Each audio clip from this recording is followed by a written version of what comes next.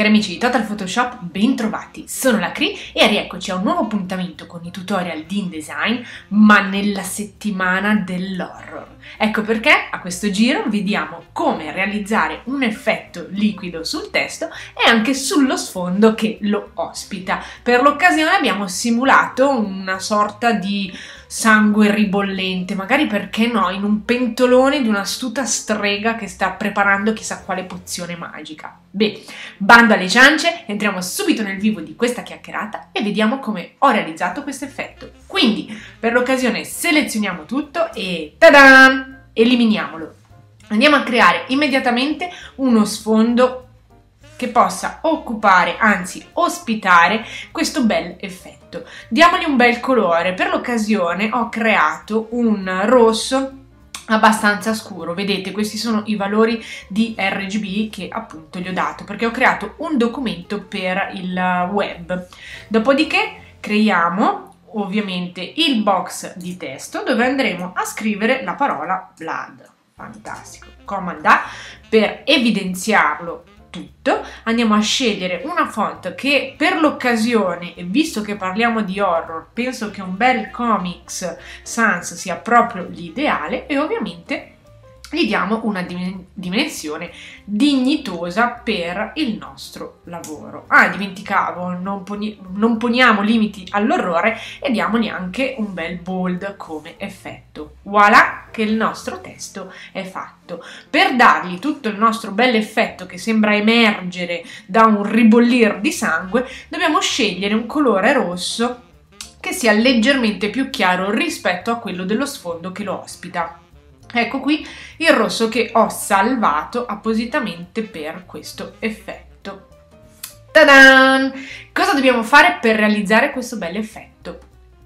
La parola effetto non è mica qui a caso, infatti andiamo nel menu finestra, apriamo il pannello degli effetti e con un doppio clic sull'oggetto iniziamo a lavorare sul nostro bel testo. Ebbene sì, perché solo quando chiuderemo questa finestra sarà fatto il nostro bel effetto e infatti visto che continuiamo con gli orrori continuiamo anche con le parole orrende una vicino all'altra occupiamoci immediatamente di smusso ed effetto rilievo diamo a questo smusso una dimensione decisamente più grande di quella di default proposta da uh, InDesign. Direi che 30 potrebbe essere, forse anche 20 va bene.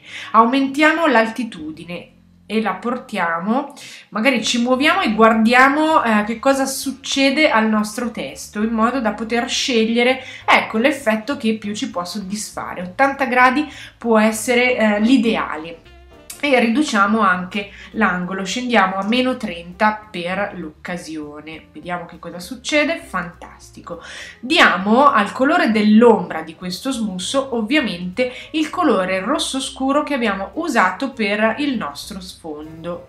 Diamo un bel ok e interveniamo sull'opacità della luce eh, riflessa in questo caso quindi gli diamo un bel 100% voilà guardate che bell'effetto effetto proprio tipo liquido che sta già venendo fuori dalla nostra scritta. Bene, gli altri valori li lasciamo così come di default ce li mostra appunto in design, quindi lo smusso interno, una tecnica arrotondata e la direzione appunto in alto del nostro smusso ed effetto rilievo.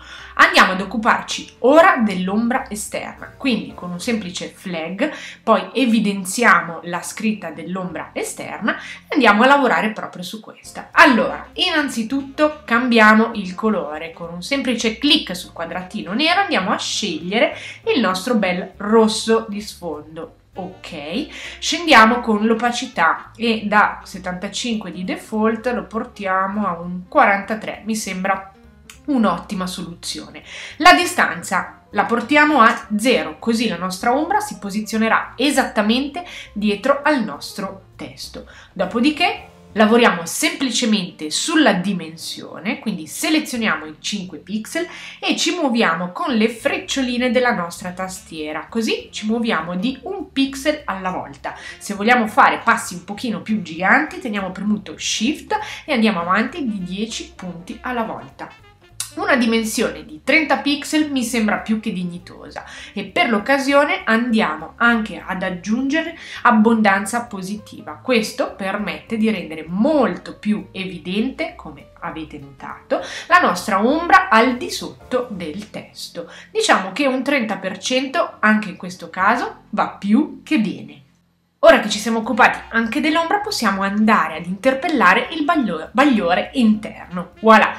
Come bagliore interno innanzitutto scegliamo un metodo di fusione normale e anche qui andiamo a scegliere il nostro bel colore rosso di fondo, ok, Aumentiamo l'opacità e lo portiamo al 100%, lasciamo una tecnica tenue e come sorgente del bagliore ovviamente il bordo e non il centro della nostra scritta e diamogli semplicemente una dimensione un pochino più grande. 20 pixel va benerrimo aumentiamo anche in questo caso l'abbondanza negativa quindi andiamo a confondere ancora un pochino di più questo bordo andando ad aumentare l'effetto di chiaroscuro che c'è all'interno del nostro testo.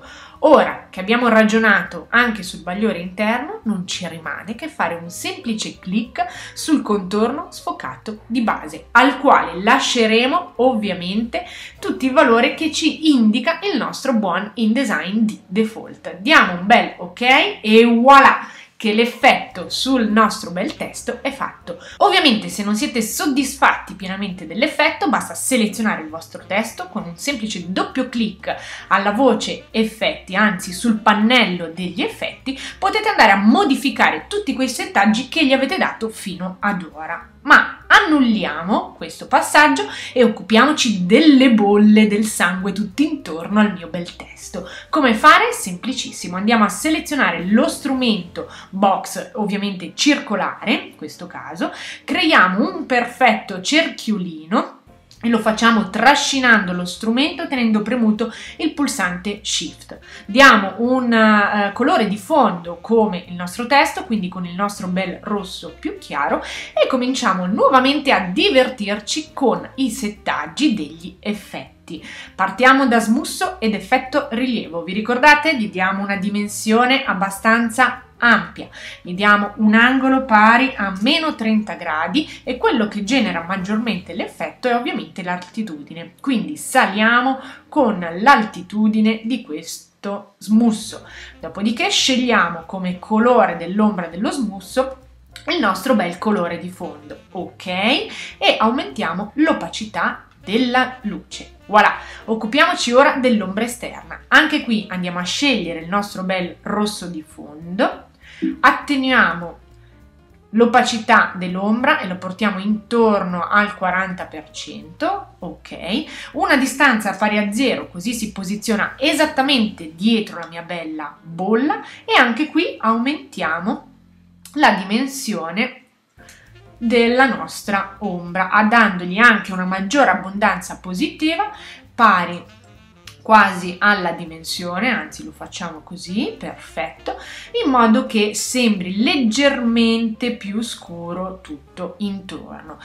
Occupiamoci del bagliore interno. Andiamo a scegliere anche qui il colore del nostro bello sfondo, scegliamo un metodo di fusione normale in modo che si possa scurire maggiormente intorno al bordo, ovviamente la sorgente è quella del bordo, aumentiamo la dimensione, lo portiamo a 30, va benissimo, e diamogli anche una maggiore abbondanza negativa, pari quasi a quella della dimensione, in modo che si possa scurire ben bene tutto intorno al mio cerchiolino.